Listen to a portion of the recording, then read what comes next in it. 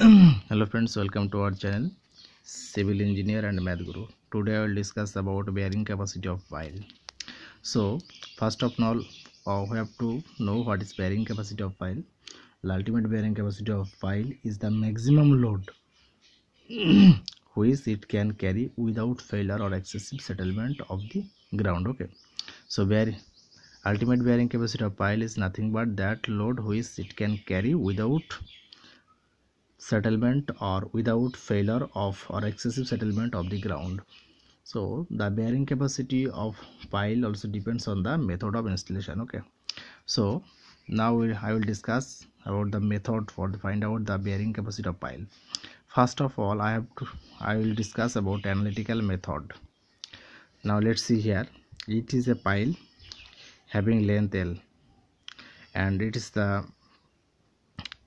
bearing area AB and surface area AS okay. That is the ground level and uh, its bearing load is QUP okay. So the ultimate bearing capacity of the pile is given by QUP equals to QEB that is the QEB equals to end bearing capacity. End bearing capacity plus frictional resistance. Okay. That is the skin friction QS so end bearing capacity of the pile will be uh, so the ultimate bearing capacity pile will be end bearing plus skin friction okay? Plus skin friction. Now another formula is coming here. Qb qb equals to qb plus ab plus qs into s where qb is the end bearing resistance in unit area end bearing resistance in unit area and ab is the uh, that is the bearing area and qs is the skin uh, skin friction resistance of unit area okay? And uh, as is the surface area is the total total surface area okay? Total surface area of the pile. So now we have to find out the value of the qb qb is nothing but qb equals to 9c where c is the unit cohesion at base of the pile for clays okay? And uh, qs equals to alpha square the c dash equals to unit addition between the pile and the soil. So these were the ultimate bearing capacity of the pile. And now safe bearing capacity. So safe bearing capacity is nothing but if we divide this ultimate bearing capacity by factor of safety then it will give us the safe bearing capacity of the pile. So QUP by FS F is the factor of safety.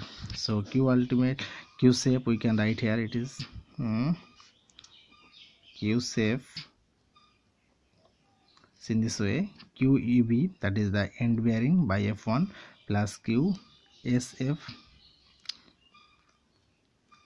by S2 F2 okay? Where F1 equals to 3 and F2 equals to 2 okay? Now I will discuss about the dynamic approach okay? So in dynamic approach I will discuss about engineering news formula. In this formula the ultimate bearing capacity of the pile is given by W into A by S plus C. And the allowable load on the pile is given by QAP equals to QUP divided by 6 so if we put this value QUP here you will get W into S by 6 into S plus C okay?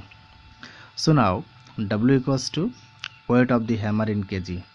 Weight of the hammer in kg and S equals to height of fall of the hammer in centimeter okay? And this is the final set. C is a constant and value of this c equals to 2.5 centimeter for the drop hammer. Mind it is very important okay? And 0.25 centimeter for steam hammer whether it is single acting or double acting okay? Single acting or double acting okay?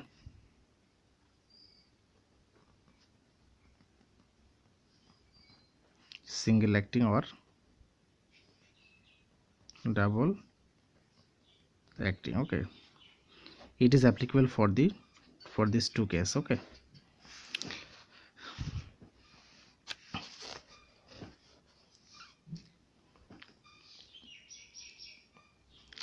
Now for the drop hammer formula for QAP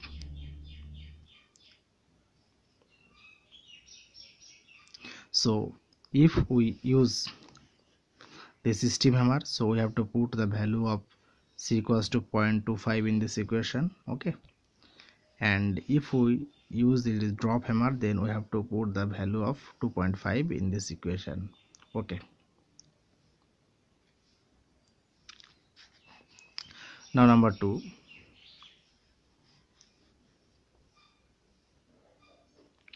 Hiley's formula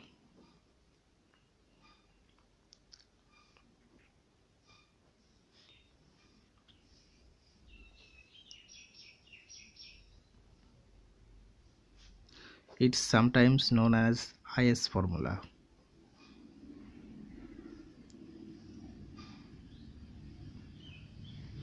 IS formula. So now in this formula the ultimate bearing capacity of pile is given by QP equals to neta is into neta B into W into S by S plus C by 2 okay. QB and uh, QAP that is allowable pressure is given by QAP by AFS that is a factor of safety okay. Now factor of safety it is given by 3 I am writing here is 3 okay and uh, data is given by efficiency of the hammer.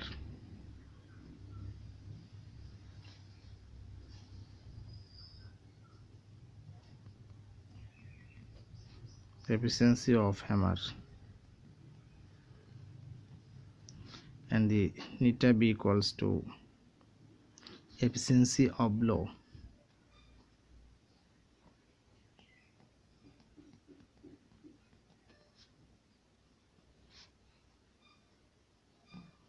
efficiency of blow now we have to know what is the value of the neta s and the neta b. Now neta is equals to 0.75 to 0.85 for single acting steam hammer.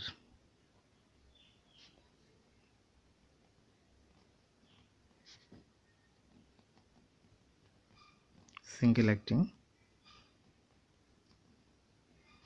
steam hammer okay and uh, is equals to 0.75 to 0.80 for double acting steam hammer okay for double acting steam hammer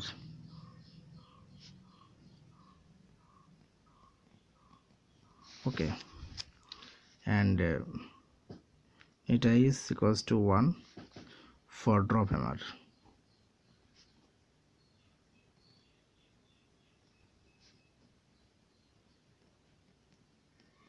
For drop hammer okay. Now we have to know what is the neta b. So neta b equals to energy of hammer after impact en energy of hammer. After impact.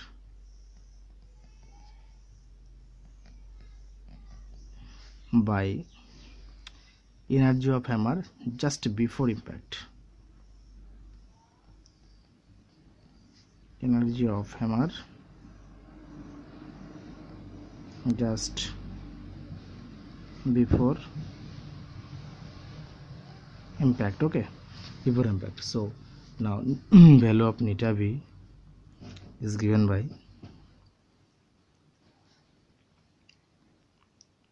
w plus e square p by w plus p okay when w greater than e into p okay? And tab equals to w plus e square py w plus p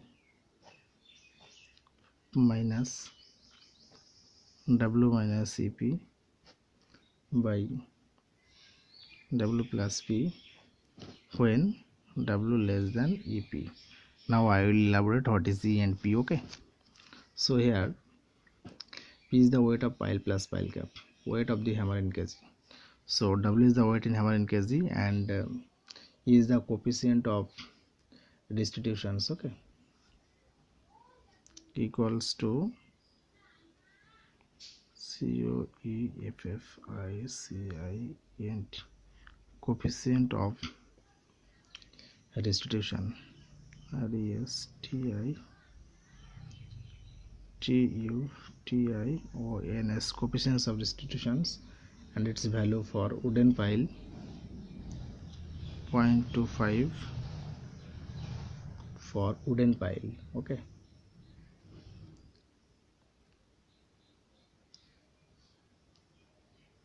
Wooden pile. And its value is given by 0.40 for concrete pile okay?